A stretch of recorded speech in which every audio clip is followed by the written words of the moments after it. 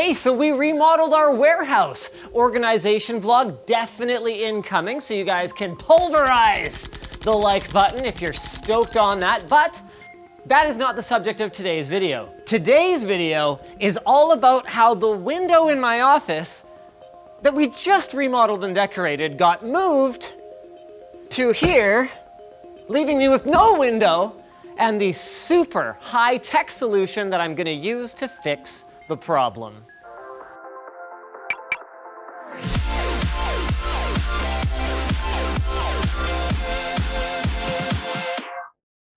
Savage Jerky is created without the use of nitrates or preservatives. Use offer code LTT to save 10% through the link in the video description. Okay, so we had to make a choice. Replace the window that used to be for looking out over my empire with a window for looking out into part of a stairwell, part of an office space, and part of the middle of a wall, or rip it out and drywall over it, leaving me with only, tragically, a window out into the bench den.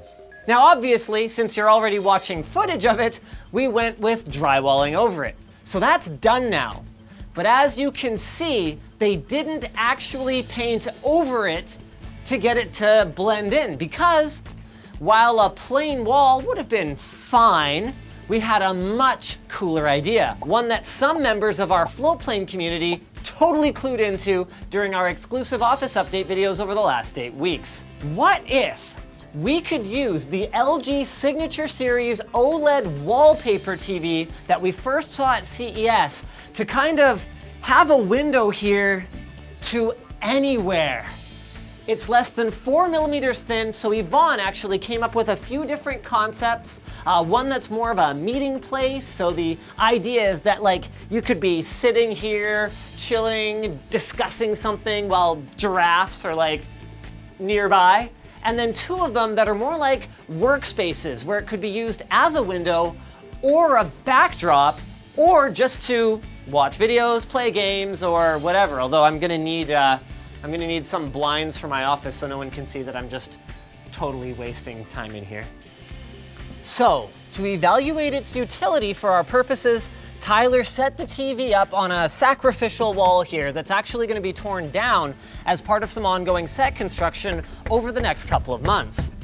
All of the electronics for the TV are in a separate speaker bar unit. So the way it mounts is actually by screwing a big flat piece onto the wall then there are these little washers at the top that jut out a bit to support the weight, and then the TV is held flat against the wall by magnets. Oh, I just pulled it off. Oh, well, there you go. Okay, first things first though, I need to figure out why it's not actually sitting flat right now. Okay, so is it not lifting up? Oh, there we go. Oh man, that is so trippy. Look at this thing. Okay, so Tyler, if I hold it, it's crazy how light it is. I got it. Okay. Yeah. So, well, if we if we were to screw this in, does that look better? Okay, so we need to screw this in.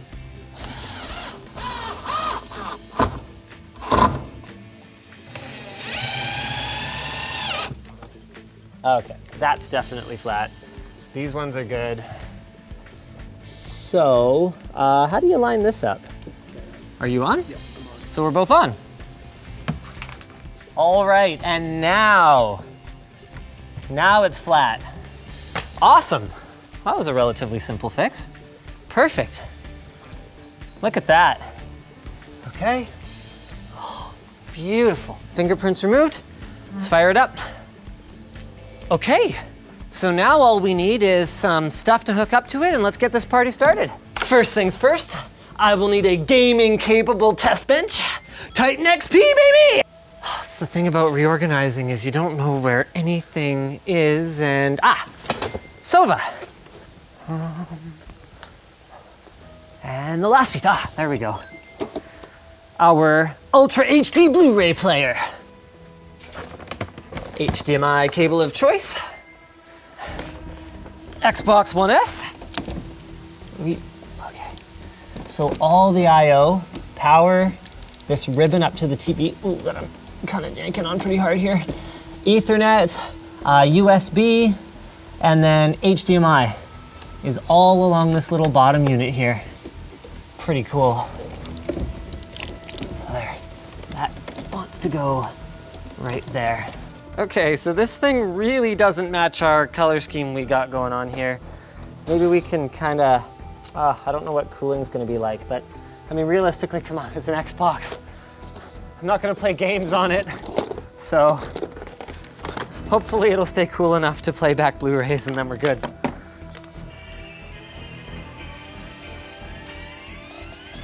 Okay, let's switch to that input. Remote hasn't changed since the last LG signature. That's not necessarily a problem though. I actually really like the air pointy doodad thing that we got going on here. No keyboard detector, what?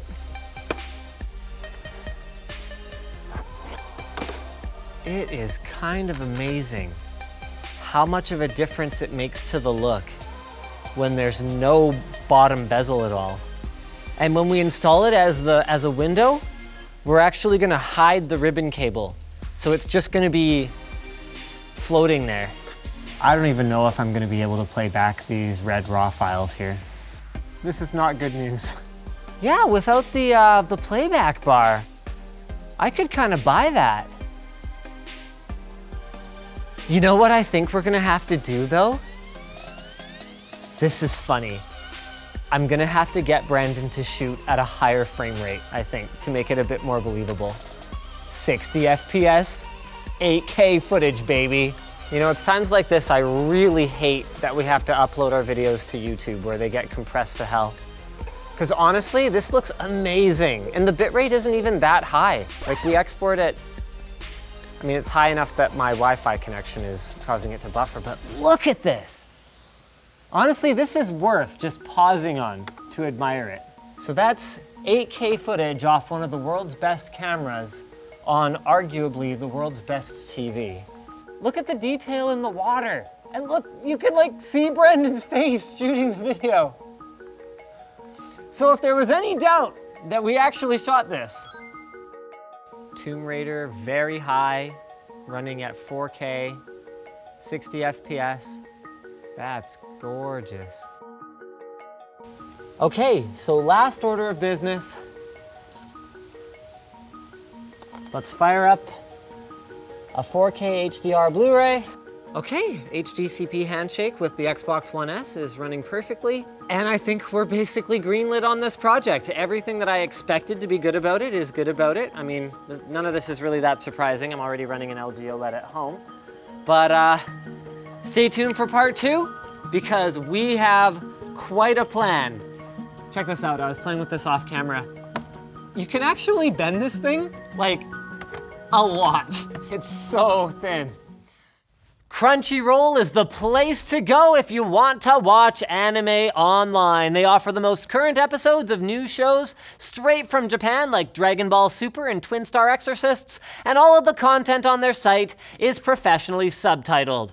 Our link below, go check it out, gives you a whole month of free anime completely ad-free.